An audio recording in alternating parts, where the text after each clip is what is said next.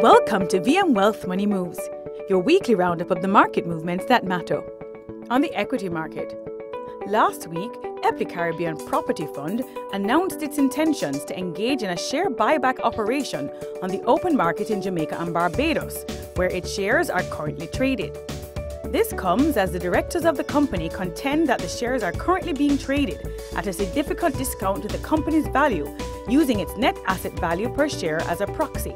Eppley plans to purchase shares in the open market from time to time using the company's cash at a price below or equal to the company's net asset value per share, which was $48.64 as of September 30th. In reaction to this announcement, the price for the company's shares increased from $32 on December 27th to $43.19 per share on the 31st. On the money market, in the BOJ's 30-day CD on December 31st, 9 billion was on offer.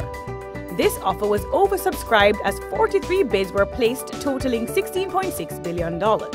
21 of these bids were successful, and the average yield on successful bids was 0.93%. On the bond market, over the past several weeks, the US bond and stock market have been taking their cues from reports on the US China trade deal.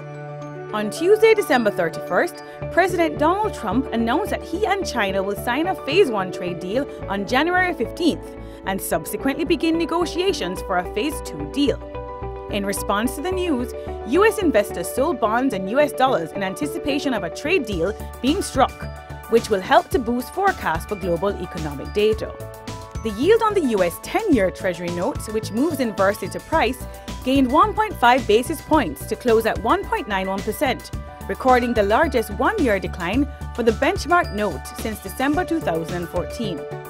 On the foreign exchange market, low activity in the foreign exchange market continued as the year came to a close.